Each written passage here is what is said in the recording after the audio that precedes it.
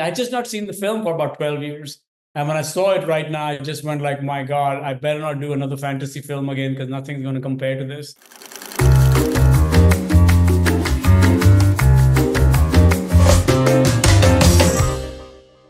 Hello, everyone. Talal Azim here from Popcorn and Soda, and I have the privilege today to discuss the upcoming release of the 4K restoration of 2006's acclaimed classic, The Fall, which will be available to stream exclusively on Mubi starting September 27th, 2024, in Canada.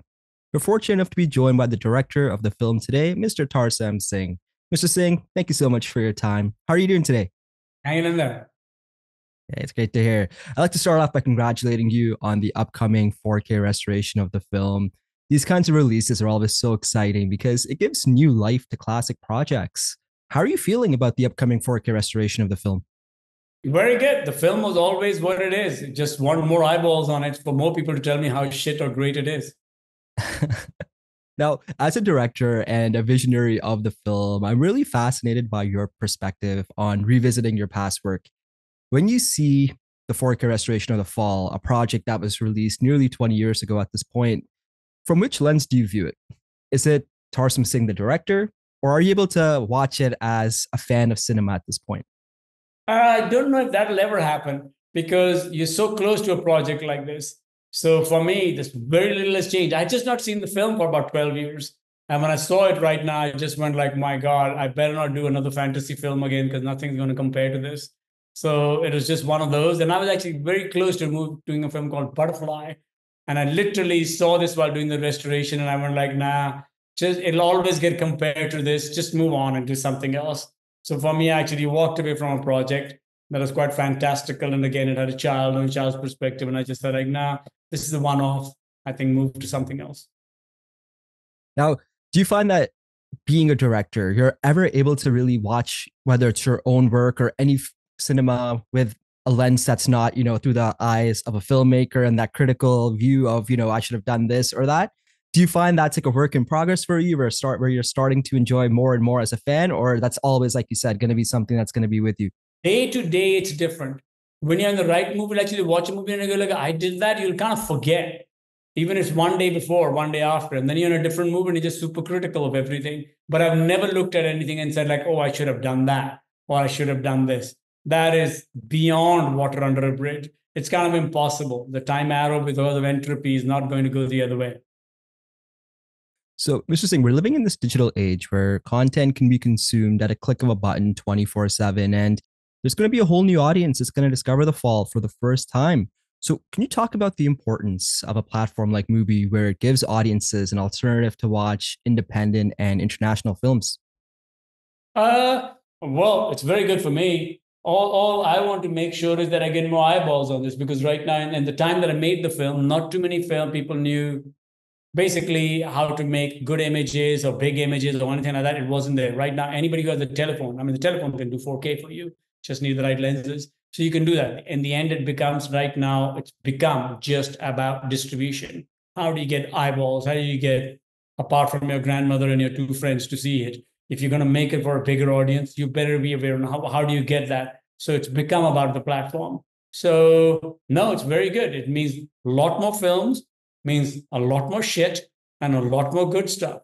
And just what separates the shit from Shinola, I have no clue. Clue. You just make it and then you figure it out. Well, one thing I find really interesting is, uh, Mr. Singh, you have a history of working with young actors who went on to and currently are doing amazing work. Lee Pace, what do you recall the most about your time working with Lee? Uh, well, they were. It took me a long time to find the girl, but when I found her, she was the reason I was making it immediately. But I need. I thought I'd have to go to film school or something to find a person that nobody knew because we were going to lie so much about the character. You know, we, we just told everybody he can't walk. It's for this thing. He's going to be in bed for three months. He's never going to be able to walk. We changed the script to say that in the fantasy world, it's about the dad. We changed everything to go there. So for me, when I found Lee, I just knew one, he has such a great voice. Second, he's such a lovable character. I wanted the girl to fall in love with him.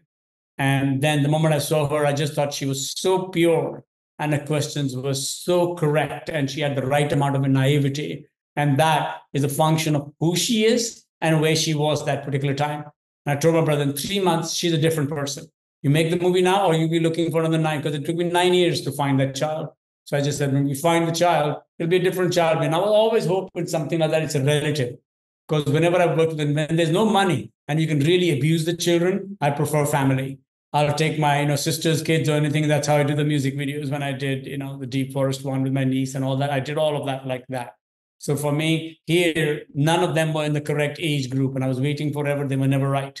And when I saw her, and I just said she was so malleable and ductile and and and, and receptive and so emotionally invested in what she heard and so believable and naive that she was in the perfect state there.